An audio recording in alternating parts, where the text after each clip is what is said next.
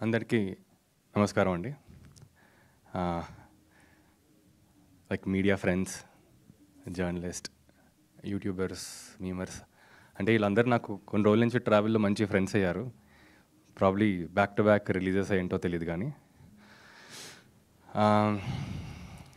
ఈ సినిమా గురించి యాక్చువల్గా రవీందర్ గారు ఇంకా వివరించి చెప్పేశారు. బట్ నాకేమనిపించిందంటే అసలు ఏంటి ఏం ఏం షేర్ చేసుకోవాలంటే ఆల్మోస్ట్ యాక్టర్గా sir four and half years తర్వాత వస్తున్నా మీ ముందుకి. సో అసలు ఏం ఏం షేర్ చేసుకోవాలి వీళ్ళతో పాటు? ఏం ఏం ఏం షేర్ చేసుకుంటే రైట్ రాంగ్ అని ఆలోచిస్తున్నా మార్నింగ్ నుంచి. సో నాకేమనిపించిందంటే ఆ మూవీ గురించి అలాగే నేను షేర్ చేస్తాను. బట్ నాకు ఈ కొన్ని ట్రావెల్లో ఈ four years four and half ఇయర్స్లో నాకు కొన్ని క్లారిటీ వచ్చింది. సో నా ఐ థాట్ బెటర్ నాకు ఏంటంటే క్లారిటీ షేర్ చేసుకుని మీతో పాటు. అండ్ ఎక్కువ ట్రూత్ మాట్లాడితే చూద్దాం ఎత్ సైడ్ వెళ్తుంది ఆ ట్రూత్.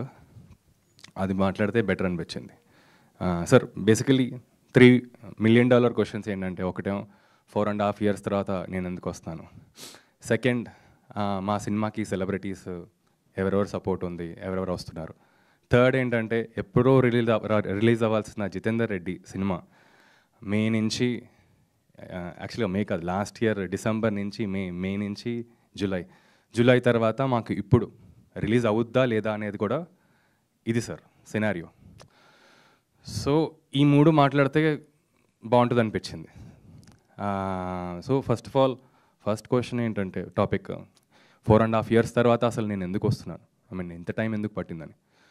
సార్ యాక్చువల్గా ఫ్రాంక్గా చెప్పాలంటే అసలు ఏమీ గ్యాప్ తీసుకోలేదు. కాన్స్టెంట్గానే అప్పటి నుంచి ఇప్పటి వరకు నేను వర్క్ చేస్తున్నాను ఉన్నాను ఇన్ఫ్యాక్ట్ ఇంటికి కూడా అప్పుడప్పుడు చాలా పొద్దున లేవని మళ్ళీ రాత్రి కనిపించేవాడిని. మా మదర్ కూడా ఇక్కడ ఉన్నారు. సో ఆవిడే చెప్తారు. సార్ నాకేమనిపించిందండి సార్ ఈ ఫోర్ అండ్ హాఫ్ ఇయర్స్ గ్యాప్లో నా రియలైజేషన్ ఏంటంటే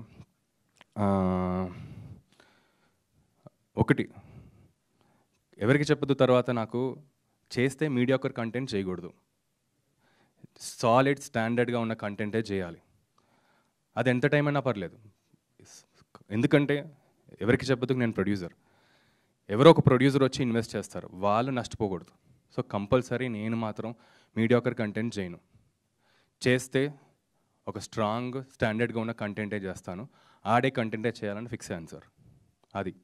సో అలా చేయటం జరిగింది ఒకటేమో జితేందర్ రెడ్డి ఇంకొకటి మా ప్రొడక్షన్లో పాయింట్ నెంబర్ టూ నాకేమనిపించిందంటే సరే ఇప్పుడు నేనేమి బ్యాక్గ్రౌండ్ లేకుండా వచ్చాను. నాకు చాలా ఇయర్స్ పట్టింది. ఇండస్ట్రీలో సెటిల్ అవ్వటానికి కొత్త వాళ్ళని ఎంకరేజ్ చేద్దాం. సరే నాలాంటి వాళ్ళు ఎవరో ఉంటారు కదా ఎంకరేజ్ చేద్దామని చేసిన ప్రాజెక్టు పేకమెడ్లు. పేకమెడ్లు అనే ప్రాజెక్ట్ చేసిన తర్వాత నాకు ఏమర్థం ఏంటంటే సార్ నేను అది చేయకుండా ఉండాల్సిందని. అది నేను చేసిన రాంగ్ స్టెప్ అని. ఎందుకంటే సార్ మన ఇండస్ట్రీలో ఇప్పుడు నాకు నేనేమనుకున్నాను ఎవరికి చెప్పదు తర్వాత నాకు ఒక మార్కెట్ వచ్చేసింది. ఐ మీన్ మార్కెట్ కాదు నాకు ఒక సక్సెస్ వచ్చింది నాకు ఫార్ములా తెలుసు నేను చేసుకుంటూ వెళ్ళిపోవచ్చని. బట్ నాకేం అర్థమైందంటే మార్కెట్ అనేది ఇంపార్టెంట్. మార్కెట్ లేకపోతే ఏ హీరోకి లేకపోతే బ్రాండ్ లేకపోతే ఎవరు పట్టించుకోరు సార్. పేకమెడల్ సినిమా మూడు సంవత్సరాలు పట్టింది. త్రీ ఇయర్స్ మేము పేకమెడల్ చేస్తూనే ఉన్నాం. అదే ఇంకెవరైనా ప్రొడ్యూసరో లేకపోతే ఇంకెవరైనా బ్రాండ్ ఉండుంటే one year one and half ఇయర్లో బయటకు వచ్చేసేది సో నా రిగ్రెట్ ఏంటంటే నేను రాకేష్ వర్య ఒక బ్రాండ్ అయిన తర్వాతే కొత్త వాళ్ళతో చేస్తా. తప్పకుండా చేస్తా సార్. కొత్త వాళ్ళని ఎంకరేజ్ చేస్తా. ఎందుకంటే నేను కూడా ఆ బ్యాక్గ్రౌండ్ లేకుండా వచ్చాను కాబట్టి నేను ఎంకరేజ్ చేస్తా. కానీ ఇప్పుడు నేను చేయను ఇది నా లెసన్ పేకమెంట్లతో ఎందుకంటే త్రీ ఇయర్స్ పాటు అంటే వన్ అండ్ హాఫ్ ఇయర్ నాకు దానికి వేస్ట్ అయింది. నాకే కాదు నా టీంకి లేకపోతే మా డైరెక్టర్కి ప్రతి ఒక్కరికి వేస్ట్ అయింది. సో నా క్లారిటీ ఏంటంటే ఫైనల్గా నేను చెప్తున్నాను నేను తప్పకుండా చేస్తాను. సరే రాకేష్ చేసుకుంటా వెళ్ళిపోతున్నాడు కాదు. నేను నిలబడిన తర్వాత వేరే వాళ్ళు నిలబడతాను. టూ సార్ సెలబ్రిటీస్ అంటే ఎలా అయిపోయిందంటే సార్ ఇది నేను షేర్ చేసుకోవాలి సార్. ఒక ఇండస్ట్రీలో కింద మీద పడుతూ వచ్చిన సరే నాలాంటి వాళ్ళు సెలబ్రిటీస్ ఏ బ్యాక్గ్రౌండ్ లేకుండా ఎందుకు వచ్చి సెల ఎందుకు వస్తారు సార్? సెలబ్రిటీస్కి అప్లికేషన్ మీద వస్తారు. లేకపోతే ఏమన్నా ఫ్రెండ్షిప్ మీద వస్తారు. సో ఇప్పుడు ఎలా అయిపోయిందంటే mind set I want to understand the mind set not the celebrities or anything అంటే మైండ్ సెట్ ఎలా అయిపోయిందంటే ఒక సెలబ్రిటీ ఉంటేనే ఈవెంట్ అవుతుంది ఒక సెలబ్రిటీ ఉంటేనే జనాల్లోకి వెళ్తుంది. ఏం మైండ్ సెట్ సార్? నాకుండేది. నేను వేరే వాళ్ళ గురించి కాదు నేను చెప్పేది. ఎవరికి చెప్పొద్దు సెలబ్రిటీస్ అందరూ ఉండేవాళ్ళు స్టేజ్ అంతా. కానీ నా రియలైజేషన్ ఏంటంటే సరే సెలబ్రిటీస్ ఓన్లీ సపోర్ట్ చేస్తారు. సినిమా నేను జనాల వరకు తీసుకెళ్ళరు సో నా fellow film మేకర్స్కి to my brothers and sisters what I suggest is marketing మీద కూర్చోండి. How to market your film దాని మీద ఉండండి. నిజంగా సార్ ఒక సెలబ్రిటీని తేవాలంటే ఎంత ఒక సినిమా చేసేయచ్చు. రారు సార్ సెలబ్రిటీస్ రారు. పిలిస్తే ఏం రారు. వాళ్ళకి ఇష్టమైతేనే వస్తారు సినిమాకి. సెలబ్రిటీస్ ఎందుకు తెలియదు సెలబ్రిటీస్ ఎందుకు తెలియదు అని అడుగుతూనే ఉన్నారు. ట్రై చేస్తున్నాం సార్ ఎందుకు మీ మీకు ఎందుకు లేని లేట్ అయింది? పొద్దున్న నేను మెసేజ్లు చేస్తూనే ఉన్నాను. ఈ ఈవెంట్ అయిన తర్వాత మళ్ళీ చేస్తాను. అందరితో నేను పనిచేసిన వాళ్ళు అందరితో ప్రతి ఒక్కరితో చేస్తాను. సార్ వచ్చి నాకు సపోర్ట్ చేయండి. ఈ సినిమాని చేయండి. హానెస్ట్గా చేశాను. ప్రాబ్లం నాకు అప్పుడప్పుడు అనిపిస్తుంది సార్. ప్రాబ్లం నేను హానెస్ట్గా చేయటం అనేది తప్పేమో అని. చేసుకుంటా వెళ్ళిపోవాల్సిందేమో. ఎవరికి చెప్పదు తర్వాత.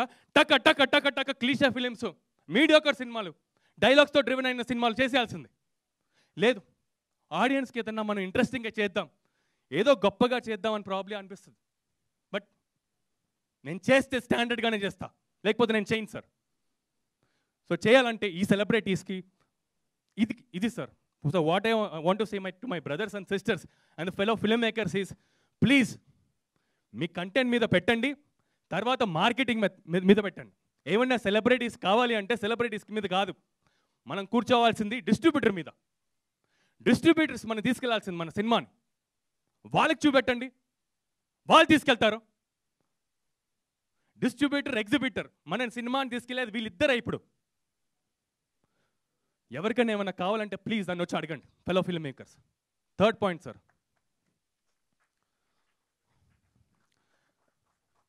Jitender Reddy సినిమా ఎందుకు పోస్ట్ పోన్ అవుతూ వచ్చింది? అండ్ అసలు రిలీజ్ అవుద్దా లేదా అనేది. సార్ జితేందర్ రెడ్డి సినిమా అసలు నేను ఎందుకు చేశానంటే సరే స్టోరీ బాగుంది. ఓకే చాలామంది అంటున్నారు జితేందర్ రెడ్డి గారు పెద్ద ఫ్రీడమ్ ఫైటర్ ప్రజల కోసం ఫైట్ చేశారు పేదల కోసం ఫైట్ చేశారు. ఒక ఐడియాలజీ కోసం ఫైట్ చేశారు. ఈజ్ ఎ గ్రేట్ పర్సన్ నేను చేసింది సార్ ఫ్రాంక్లీ నేను చెప్తాను టూ ఏ టూ రీజన్స్ నేను చేసింది ఒకటి చనిపోయిన ఆయన ఆయన వాళ్ళ అన్నయ్య గురించి ఒక తమ్ముడు చేయాలనుకున్న ఒక స్టోరీ ఇది నాకు హుక్ పాయింట్ సెకండ్ పాయింట్ ఇది నేను కేవలం ఒక కమర్షియల్ యాక్షన్ డ్రామా థ్రిల్లర్ లాగానే చూశాను. ఈ రెండు పాయింట్స్ నేను నేను చేయడానికి కారణం. వీళ్ళు first time producer sir first time producers cinema చేస్తాం. సినిమా చేసిన తర్వాత మేలో డిసెంబర్లో రిలీజ్ అనుకున్నాం. అవ్వలేదు. మేలో రిలీజ్ అనుకున్నాం. సెన్సర్ ఆపేసింది. సరే ఇక్కడ సెన్సర్ క్లియర్ క్లియర్ అయింది. బాంబే సెన్సర్ బాంబే వాళ్ళు ఆపేస్తారు. సరే జూలైలో రిలీజ్ చేద్దాం అనుకున్నాం. ఇంకేదో ఇష్యూస్ ఇప్పుడేమో బ్యాన్ చేస్తా అంటారు. సరే ఇంక ఏంటి ఏం రిలీజ్ చేయకూడదా ఏంటి అసలు? అసలు ఫస్ట్ సినిమాలో ఏం ఉందో తెలుసుకొని చేయొచ్చు కదా. ఏమన్నా అంటే బ్యాన్ అంటారు థ్రెడ్ కాల్స్ అంటారు. సినిమాలో ఏమి లేదండి ఒక ఒక యాక్షన్ థ్రిల్లర్ డ్రామా ఈ సినిమా. రిలీజ్ అవ్వనండి. రిలీజ్ అయిన తర్వాత మీకు నిజంగా ఏమైనా అనిపిస్తే అప్పుడు మీరు ఏమైనా చేయండి. కోర్టుకు తీసుకెళ్ళండి దీన్ని మేము వస్తాం.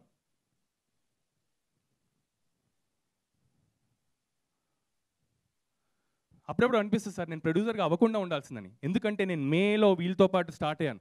మే నుంచి ఇప్పుడు ఈ రోజు వరకు ఇక్కడే ఉన్నాను ఇంకేది చేయలేదు. సార్ ఫైనల్గా I don't want make it more melodramatic or serious sir ఫైనల్గా సార్ మా కాన్ఫిడెన్స్ ఏంటంటే జితేందర్ రెడ్డి గారి మీద. జితేందర్ రెడ్డి గారు ఈజ్ ఎ ఫైటర్ ఆయనకు ఒక ఆడియన్స్ ఉన్నారు ఆయనకు ఒక ఫ్యాన్స్ ఉన్నారు వాళ్ళు సినిమాని తీసుకెళ్తారు. ఆయనకి ఒక ఐడియాలజీని బిలీవ్ చేశారు. వాళ్ళు ఈ సినిమాని తీసుకెళ్తారు. So I request everybody all the fans of Jitender Reddy wherever you are Jitender Reddy ideology ఎవరైతే ఫాలో అవుతారో wherever you are come the film is releasing on November eighth seventh or paid premiers Jai Hind